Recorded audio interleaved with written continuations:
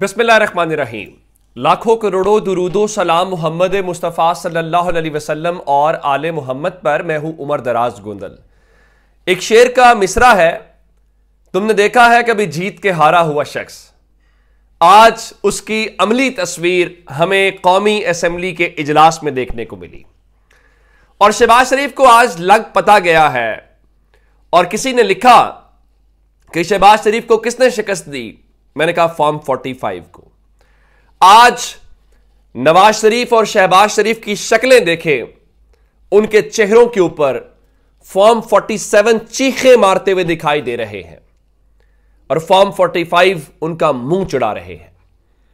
यह बात दुरुस्त है कि फॉर्म 47 की सहूलत और ताकतवर लोगों की तमाम तर शफकत और सहूलत के साथ शहबाज शरीफ वज़ीर आज़म मुंतखब हो गए हैं 201 वोट लेकर।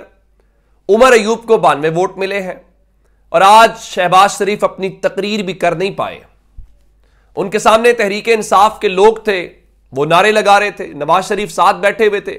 वो नारे लगा रहे थे कि मरियम के पापा चोर हैं, बिलावल के पापा चोर हैं। वो नारे लगा रहे थे मैंडेट चोरी के। और उसको भी छोड़िए। आज जमशेद दस्ती जूता ऐवान में लेके आए, पॉलिश की डब्बी लेके आए, और नवाज़ शरीफ जो है, अपनी इनिंग्स के आखिरी ओवर्स के अंदर इमरान खान के हाथों बुरी तरह क्लीन बोल्ड हो गए हैं। 2018 में आपने इमरान खान को तकरीर नहीं करने दी थी, आज की ऑपोजिशन ने आपको तकरीर नहीं करने दी। लेकिन आज ऐवान में कोई शरीफ बरादरान के खिलाफ नारे लगा रहा था, कोई जूते लहरा रहा था कोई पॉलिश की डब्बी दिखा रहा था और शरीफ बरादरान भीगी बिल्ली बने हुए थे। उसकी वजह उसकी वजह वो मैंडेट है जो आपको कहीं बैठने नहीं देगा। और आज ऐवान का माहौल बता रहा था कि ये चीज़ें आगे चलती हुई दिखाई नहीं दे रही। शहबाज शरीफ ने एक बेरंग सी तकरीर ज़रूर की। ज़ाहिर है कि उसका कोई वो इंपैक्ट हमें दिखाई नहीं दे रहा था। लेकिन सवाल सिर्फ़ इतना सा है और वो सवाल ये है कि आप अपोजिशन को मिसाक मुफाहमत की दावत तो दे रहे थे, लेकिन आपने अपोजिशन के उम्मीदवार उमर अयूब की तकरीर टीवी के ऊपर क्यों नहीं दिखाई? जैसे ही उमर अयूब की तकरीर शुरू हुई तो उसके बाद पीटीवी जो है, उसने लाइव स्ट्रीमिंग बंद कर दी, नशरियात बंद कर दी। भाई, क्या फ़ायदा है? आज पूरे ऐवान के अंदर जब शहबाज शरीफ का इलेक्शन हो रहा था और शहबाज शरीफ की तकरीर हो रही थी तो वहाँ पे एक ही नारा लग रहा था कि कौन बचाएगा पाकिस्तान इमरान खान इमरान खान। तेरा यार, मेरा यार, कैदी नंबर 804 और वो नवाज़ शरीफ के सामने खड़े होके न सिर्फ़ नारे लगा रहे थे, बल्कि इमरान खान की तस्वीरें भी लहरा रहे थे। और ये इसीलिए मैं कहता हूँ कि 8 फरवरी पाकिस्तान की कौम की फतह का दिन है। इसलिए फतह का दिन है कि शरीफ बरादरान के मुँह के ऊपर खड़े होकर ये नारे लगाना मैंडेट चोरी के नारे लगाना शायद उन्होंने सोचा भी नहीं होगा। और आज जो सबसे ज़्यादा बॉडी लैंग्वेज है वो नवाज़ शरीफ की देखने वाली थी। और के आ, क्या कहते हैं कि उस सारी सूरत हाल में हमने देखा कि नवाज़ शरीफ का चेहरा उतरा हुआ है। भला जीते हुए लोगों के चेहरे भी इस तरह के होते हैं। इस तरह के होते हैं। और फिर एक और वीडियो सर्कुलेट कर रही है। जिसमें नवाज़ शरीफ जो है, वो अपनी सीट के ऊपर खड़े हैं। शहबाज शरीफ आते हैं उनके साथ हाथ मिलाने के लिए। और वो नवाज़ शरीफ यूँ अपना हाथ पीछे लेके चले जाते हैं और वो उनसे हाथ नहीं मिलाते। ये सोशल मीडिया के ऊपर एक मुबैना तौर पे वीडियो सर्कुलेट कर रही है। अब मुझे ये बताइए, अगर वो वीडियो असली है तो क्या जिसको अपना भाई हाथ नहीं मिला रहा, जिस वज़ीर आज़म को उसके घर वाले इज़्ज़त नहीं देने को तैयार आप ये समझते हैं कि उसको आप कौम के ज़रिए उसको उसके ऊपर कर लेंगे। अब आपकी मर्ज़ी है, आपकी मर्ज़ी इसलिए है कि आज पाकिस्तान की कौम ने क्या क्या मनाजिर नहीं देखे। छोड़ देते हैं कि नवाज़ शरीफ ने आज शहबाज शरीफ का हाथ झटक दिया, इसलिए झटक दिया होगा कि वज़ीर आज़म तो मैंने बनना था, तुम वज़ीर आज़म कैसे बन गए?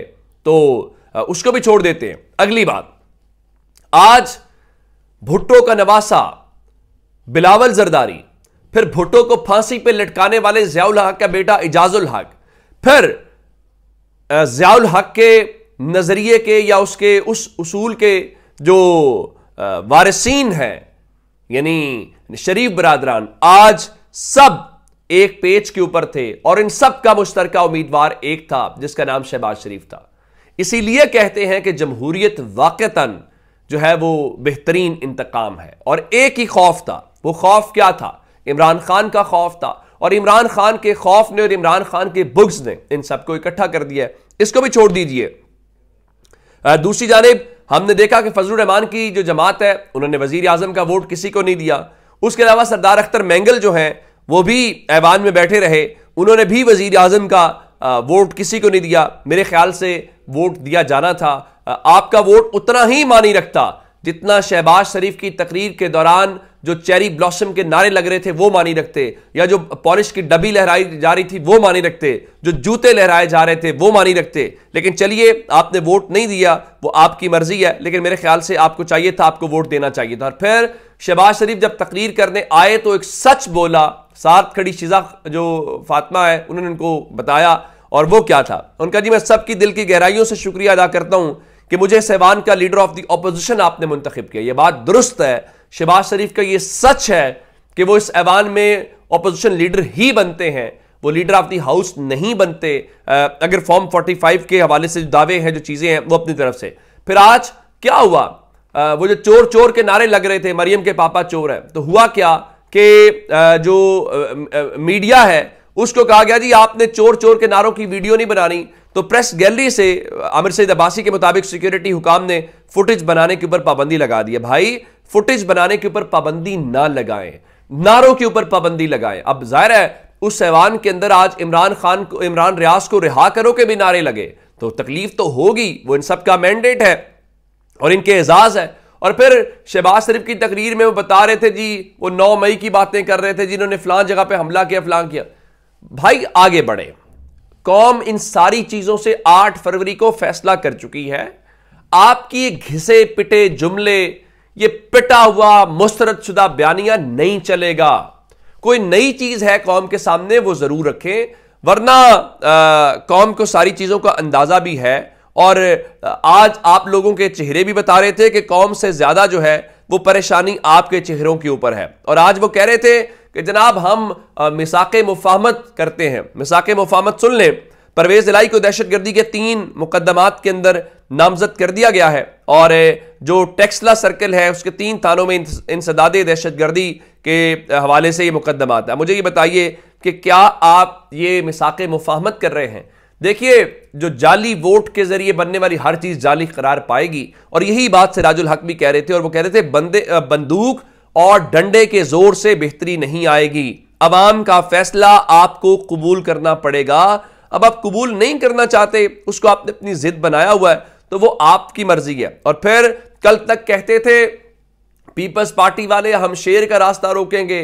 हम इसाक डार को जो आ, क्या कहते हैं कि वापस इसाक डार को नहीं करने देंगे वज़ीर खजाना। आज पीपल्स पार्टी ने बाकायदा वजाहत करके कहा है जी, पीपल्स पार्टी को इसहाक डार के वज़ीर ख़जाना बनने के ऊपर कोई एतराज़ नहीं है। ये बात दुरुस्त है। इमरान खान की और इमरान खान कहते थे कि ये सब एक ही चीज़ है। ये सब अपने आने वाले वक्त के ऊपर इकट्ठे हो जाएँगे। देखिए, मरियम नवाज़ नवाज़ शरीफ की वारिस हैं।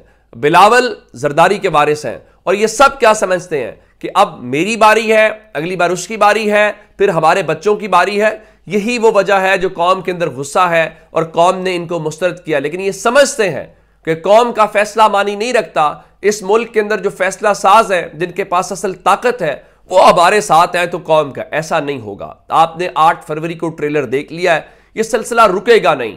और इमरान खान, देखिए ना, आज मुल्क की तारीख में पहली बार आपने वज़ीर आज़म का जो इंतखब है, वो मखसूस नशस्तों और जो अकलीतों की नशस्तें हैं, उनका फैसला किए बगैर किया है। ठीक है, आपने कर लिया होगा।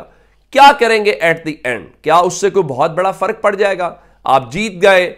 आप, वही बात कि तुमने देखा है कि कभी जीत के हारा हुआ शख्स, आप जीत के भी हारे हुए चेहरों के साथ हैं। और आपके मुखालफिन, जिनको आपने फॉर्म 47 के ज़रिए हराया फॉर्म 45 के ज़रिए वो जीते हुए वो आज धड़ल्ले से बात कर रहे हैं वो आप तकरीर नहीं कर पा रहे कैमरे आपको मूव करना पड़ते हैं। आपको अपोजिशन की जो तकरीरें हैं वो सेंसर करनी पड़ रही हैं। उसके बावजूद आप समझते हैं कि आप केस जीत रहे हैं तो ये आपकी गलत फहमी है।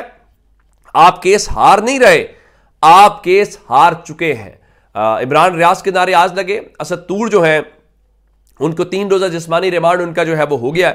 और असद तूर आप जब निकले तो उन्होंने आज आ, क्या किया कि मोहसिन नकवी के वो अशार पढ़े कि मुतमिन हूँ कि याद रखेगी दुनिया। जब भी इस शहर की तारीख वफा, जब भी शहर की तारीख वफा लिखेगी, मेरा मातम इसी चुपचाप फजा में होगा, मेरा नोहा इन्हीं गलियों की हवा लिखेगी। ये बात दुरुस्त है कि इस किस्म के आवाज़ें दबा लेने से, आप देखें ना क्या कहते हैं। आज एफ़ आई ए ने अपनी उस एप्लीकेशन में लिखा है कि जी, असद तूर अपनी खबरों के जराए नहीं बता रहे तो इसलिए उनका रिमांड। भाई, सहाफ़ी अपना ज़रिया खबर कैसे बता सकता है?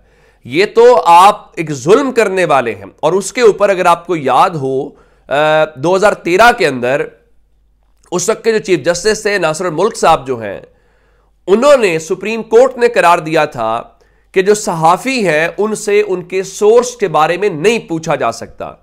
उस वक्त जब जो हामिद मीर साहब हैं, वो जब उस इंक्वायरी कमीशन में पेश हुए थे तो उस वक्त बार बार उनसे सवाल हो रहा था उनके सोर्स के मुतालिक तो उस वक्त अदालत ने रोक दिया था और अदालत ने करार दिया था कि आप सहाफ़ी से उसका सोर्स नहीं पूछ सकते। अब आप क्या कर रहे हैं? अब आप सच को छुपाने की कोशिश कर रहे हैं टेक्निकलिटीज के ऊपर और वो टेक्निकलिटीज के ज़रिए अगर सच छुपता होता तो फिर तो क्या ही बात थी। लेकिन चलिए, कोशिश करके देख लीजिए। तो अब तक की अपडेट से अपना बहुत सारा ख्याल रखिएगा। खुदा हाफिज।